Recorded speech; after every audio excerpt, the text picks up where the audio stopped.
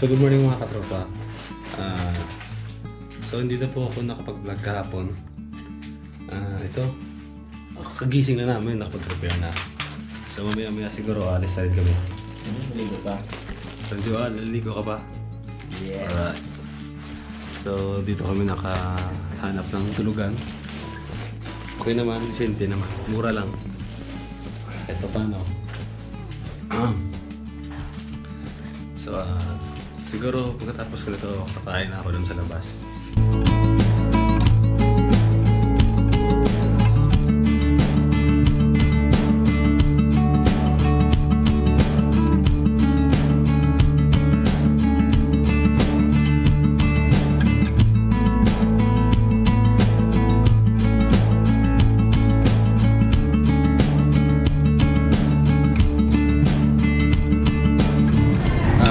Brother Mike, say good morning. Good morning. Breakfast today. Ready for day two. Yeah, day 2. Mayroong andaw. Uh, day 2 po ng ride namin kahit po tayo dito. Hello. Hi, te. Thank you. Thank you sa foods. Bye-bye. Bye-bye. So, ready na po kami. Balik po kami. Ah, oras ngayon is 8.05. Ready na yung grupo. Walis na kami.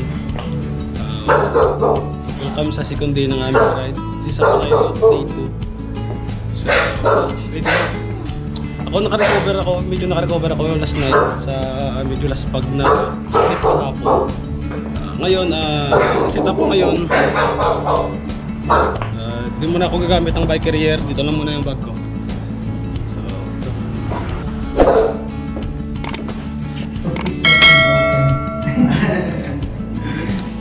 Oh, ah, good morning. Morning. Ito kasi YouTube vlog eh. Para sa YouTube. Ah. Sige te. So, alis na po kami dito. So, ah, palabas na po kami ngayon sa Estancia, Iloilo. So, bye Estancia. Bye. So, ang unang munisipyo na pupuntahan namin is Patad, Iloilo. So, I don't know kung ilang kilometers dito kasi na-search eh. So, let's go. Continue tayo dito sa dito natin.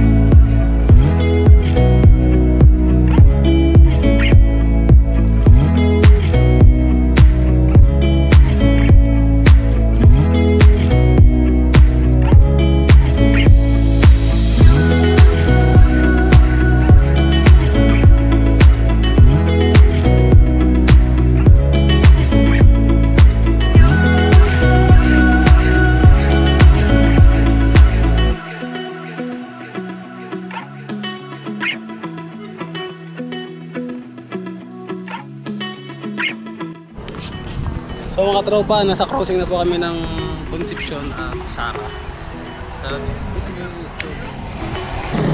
Going to Concepcion, Iloilo. Uh, ito naman is going to Sara, Iloilo. Dito kami nang galing distansya. So ito. crossing po kami. Ayos. So, patuloy po kami dito mga tropa.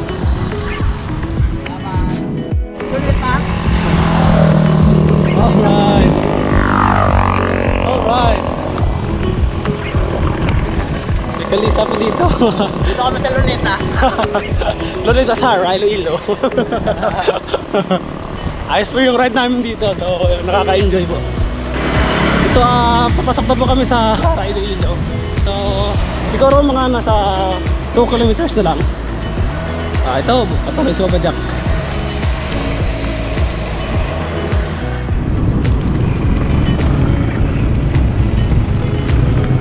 So nandito na po kami sa munisipyo ng Sara, Iloilo.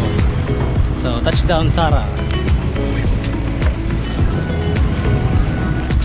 So mga katropa, ah, ito na, nandito na po kami sa Sara, Iloilo. First touchdown pa namin dito. So ito. Ah, pahinga-hinga muna.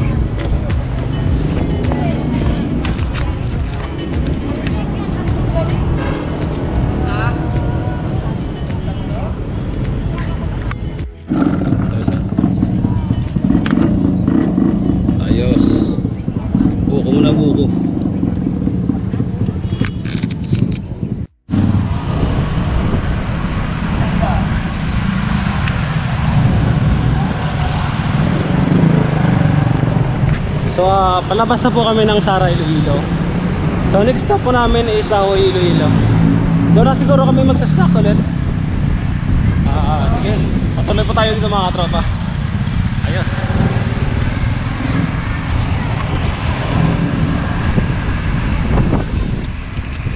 So napapansin ko dito, ah, parang hindi naman concern, pero parang isang ano lang.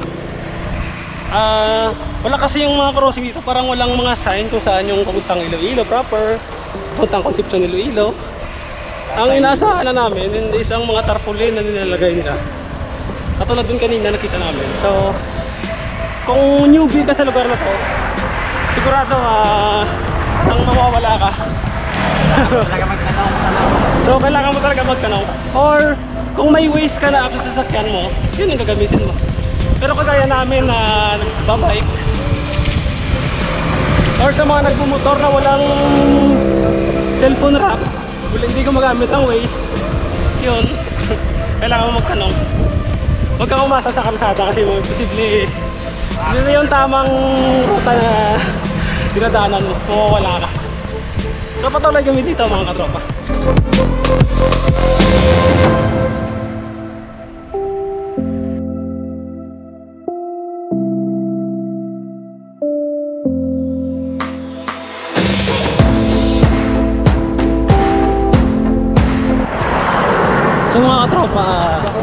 nandito na po kami sa Ahoy Iloilo. So, I think nasa proper na to nila.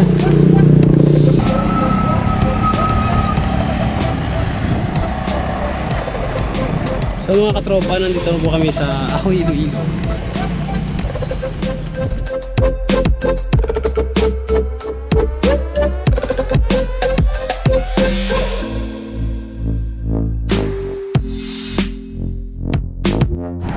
So, palabas na po kami ng proper ng Ahoy. So, diretso na to.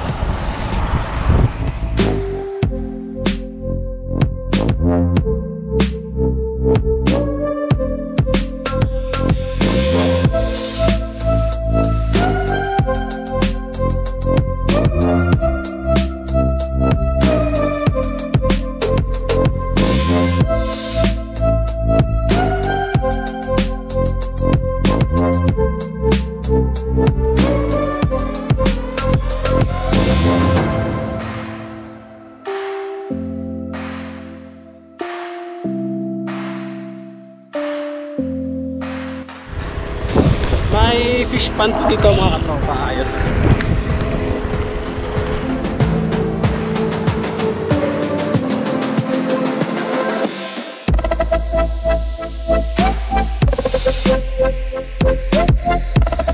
Yung lugar dito. Siguro masarap tambayan doon sa mangga. sa kabila naman is ano, ah, dagat na. Dagat na po yun sa kabila. So mga katropa, may quid po dito o pugita. Uh, dinadry nila.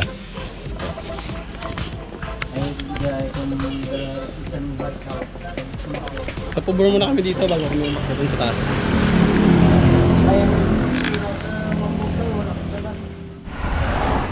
Basta ro na lang. Ah, may may barangay kulasi rin pala dito. May kulasi rin pala dito sa ditong part ng Iloilo. Barangay ko lang si Barutak. Pio. So ayos. Ayos yung mga view dito. Sa kabila palayan, sa kabila naman fish pond, isdaan.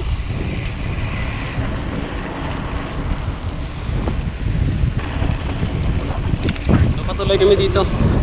Yung Barotac View 17 kilometers pa. So ayos, patuloy lang.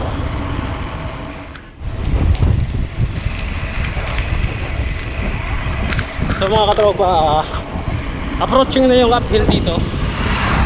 So ito, ah yung uphill na dyan kami dadaan sa uphill na yan. So siguro diretsuhin na namin to. Meron daw doon ano eh, kainan doon sa sa bundok na yun. Maganda daw yung view doon. So ito, unti-unti na namin. Mataas daw yun eh. So let's see.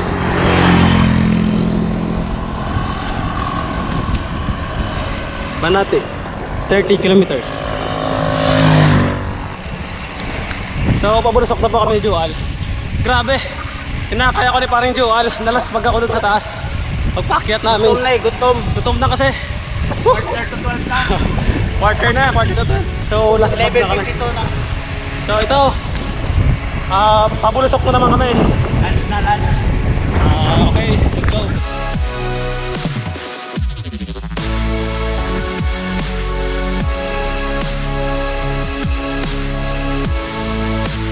So mga katropa, ah, nandito kami ngayon sa Barotac Viejo.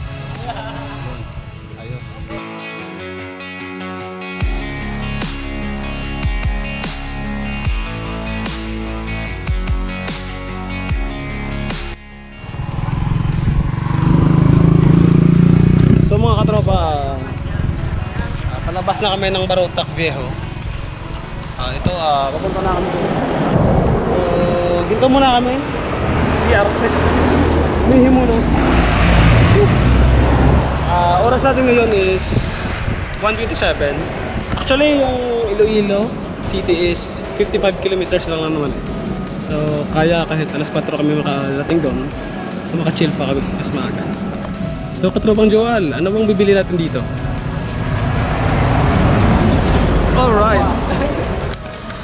Kanina pa namin itong gustong kainin yung prutas na to eh. So, yun may opportunity kami ngayon para makakain ito. Maaga pa naman eh. So yun. Thank you kuya. Ay, thank you. Hey. This is our unit. Are kuya. Salamat.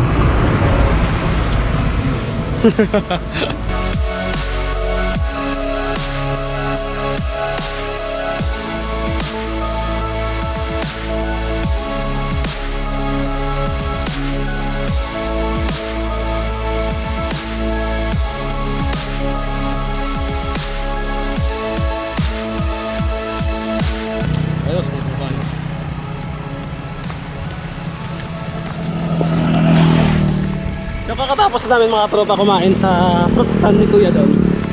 So uh, tinignan niya yung YouTube channel ko. So ayos.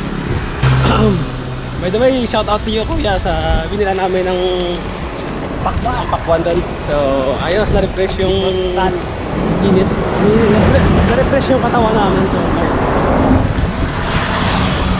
So, palabas kami ngayon ng Barotac Viejo.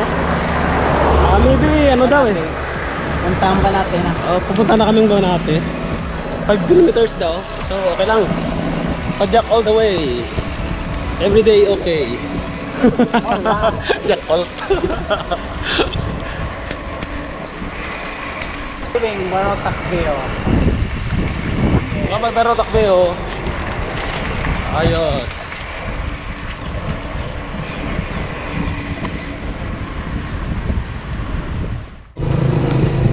So mga katropa, nandito na po kami sa proper ng Banate, Iloilo.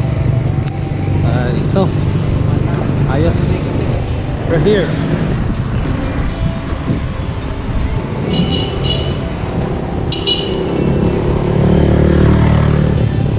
Ito yung Banate Public Market. So mga katropa, nandito na kami ngayon sa plaza ng Banati, Iloilo. Alright.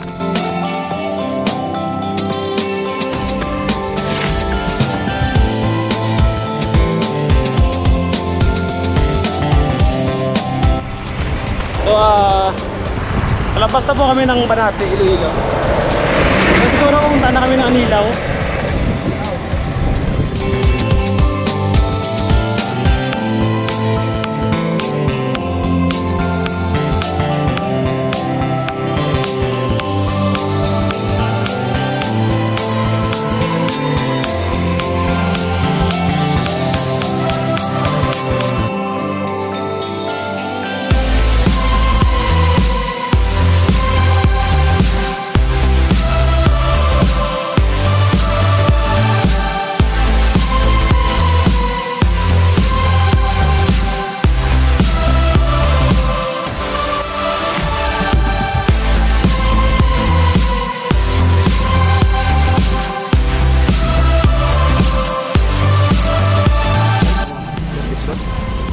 Mga katropa, ah, si Kuya Ansel pala nagsigipagsabayan sa amin dito ang lakas. sa YouTube nilang upload YouTube. So nandito na kami ngayon sa Anilaw. So, out kay Kuya, lakas. kay Kuya, ingat. Ingat, ingat lang, ingat. Alam mo? Christian. Yeah, ang lakas ni Manong. Ah, ang gamit niya kasing bike is cyclo. Cyclo cross yun. Kaya kayang-kayang humabol yun. Kahit mag-pacing kami ng 30, 35, kaya-kaya niya yun. Sisyo lang sa kanya yun. So ito, ah, nasa nilaw na kami, public plaza. Ito. Si Juan, ganun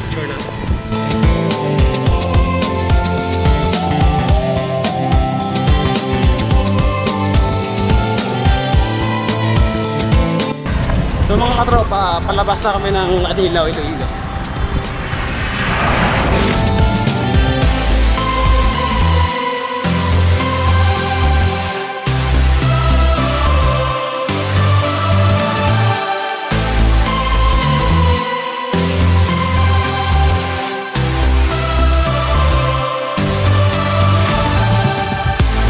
So mga katropa, 5 kilometers na lang.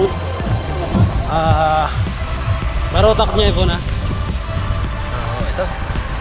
Patuloy yung pagpadyak. Ayos mga katropa, nakaka-enjoy yung init dito.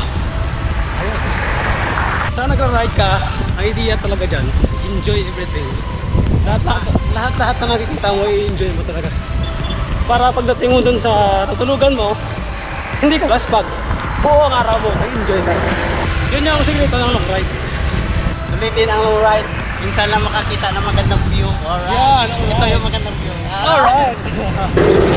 Sunflower!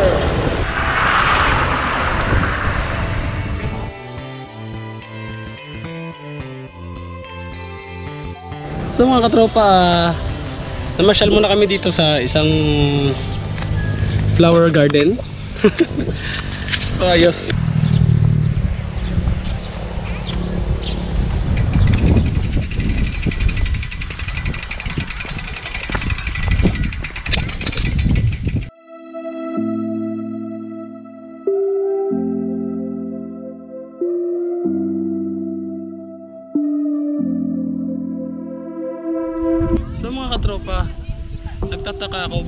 Bike sa gitna.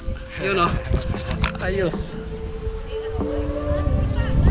Pero for picture purposes yun. Design yun eh. So, may takot. may stand para hindi ka matumbang.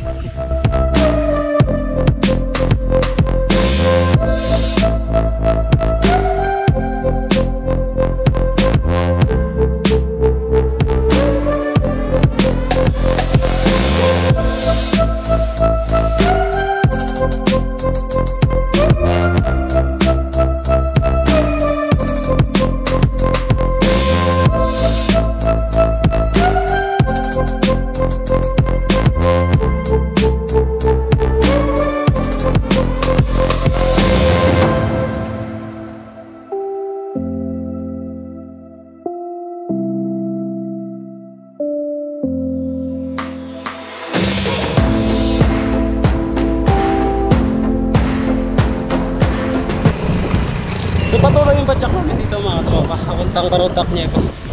Ah, siguro mga 4 kilometers na lang yun eh. So, ito. Patuloy tayo dito.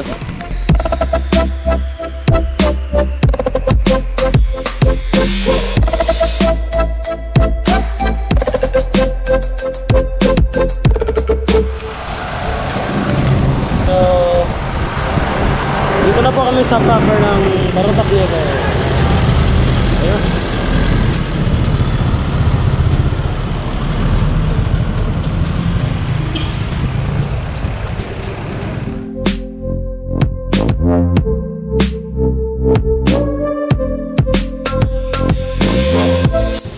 Mga katropa, nandito po kami sa Municipal Hall ng Barotac Niego.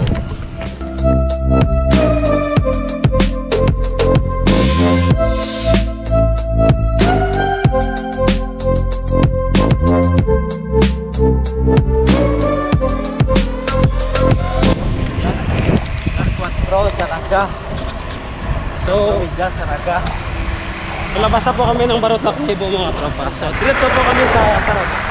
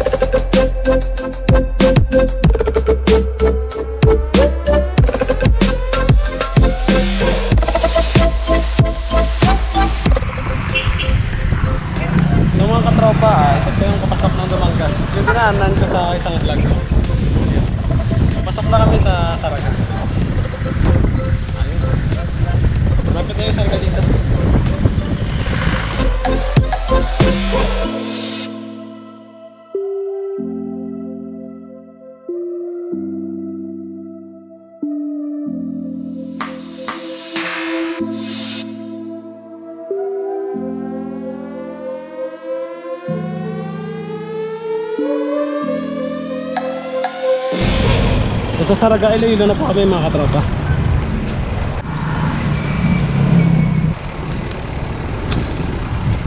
Yung nagawa pala yung munisipyo nila. So mga katropa, ah palabas na po kami ng Saraga, Iloilo. Pasok na kami sa Liganes, proper na Iloilo na yun. Dahil po, ah, binabaybay namin yung daanan na puntang Liganes. So, ito na. Medyo naghahapon na, alas 5 na. So ito, ah, hanap na kami ng hotel doon pagdating sa proper na Iloilo. So let's go. Patuloy tayo dito. Dito na kami sa Liganis. Alright. So, malapit kami sa proper ng Iloilo mga kapatid.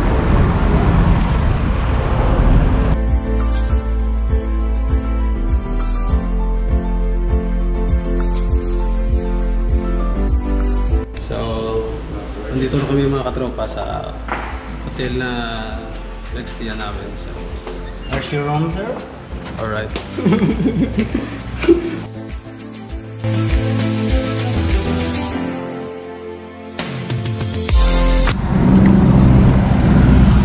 mga katropa, andito kami ngayon sa bike lane ng Iloilo. So nagpa-bike kami ngayon dito. Ah, kasi sa bike friendly City. Ito so uh, ano din, the city of love. Ito yung tawag nila dito. So ayos.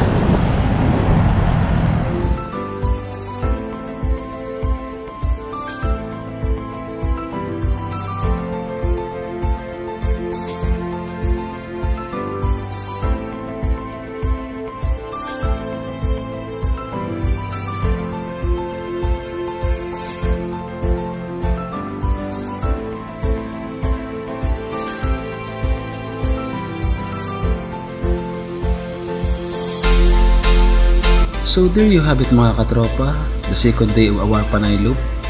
Overall run for today is 129 kilometers from Estancia, Iloilo to Iloilo City. Kung hindi pa kayo nakasubscribe sa YouTube channel ko, please like, share, and subscribe. Marami pa tayong i-upload upcoming videos. At kung gusto niyo yung video na to, please don't forget to hit the like button below. So, kita-kits sa sunod na video. Ingat sa pagpadyak. Safety first. Bye-bye! We'll